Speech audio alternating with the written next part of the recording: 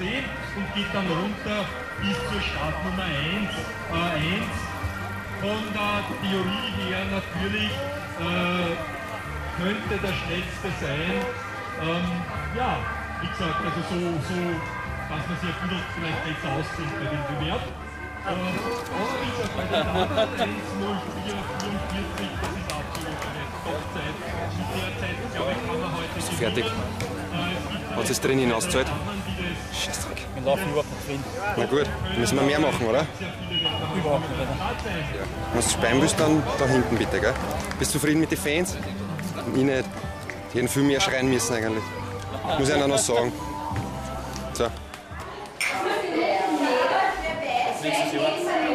Start da nächstes Jahr dazu.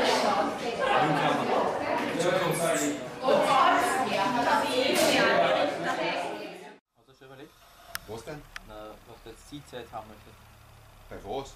Na, ein Reifter. Ah, Ich soll auch mitmachen, oder was? Challenge, was wir gesagt haben. Eine Challenge. Ja, das haben wir ja geredet dort nach dem Dreh, oder? Da kannst du dich noch erinnern drauf. Ja. Ich glaube, das hat was zu Nein, das war wie wenn es gestern gewesen war. Du nimmst du Vorfahrzeit. Hast du das gehört? Eine Challenge tut er mich herausfordern. Ganz offiziell.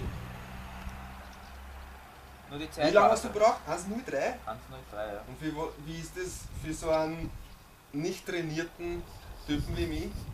Was ist da realistisch? Ja, ein bisschen treu dazu. Ähm, was gebe ich da? 1,40. 1,40. 1,40. Eine Stunde 40. Ich meine, ich habe mir dabei gedacht, vielleicht zwei Stunden. Aber 1,40? Na gut. Ich probiere das in 1,30. 1,30. Nächstes Jahr beim Achtel Triathlon in Reiersdorf werde ich antreten und versuchen, den in eineinhalb Stunden zu absolvieren. Das sind dann 500 Meter Schwimmen, Ja. Dann außer. 20 Kilometer Radfahren und 5 Kilometer Rennen. Ja. Na gut, ich werde es probieren. Und Wetteinsatz? Schau mal, Was ist der Wetteinsatz? Was machen wir? Na du. Sag's erst. Ich weiß nicht, was. was, was,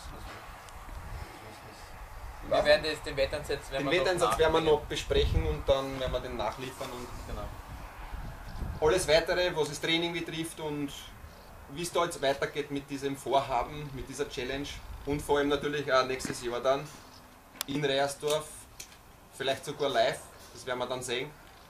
Dann. Das werden wir dann schon sehen, bis nächstes Jahr wird sich da irgendwas ergeben. Wir sehen uns. Grüß euch und immer schön Hürdenhaft bleiben, gell?